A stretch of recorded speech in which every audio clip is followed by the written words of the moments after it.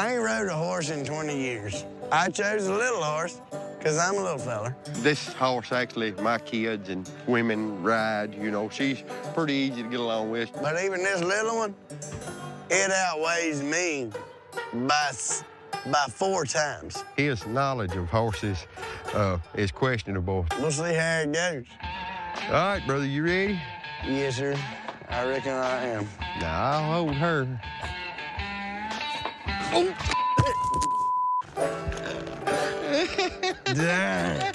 Yeah, we got you. Easy. There you go. All right. Right. Yeah, well, here we go. Now you're cowboy. He's going down. Hey, look, this horse about to beat me. There you go. Oh, oh, and she done got scared.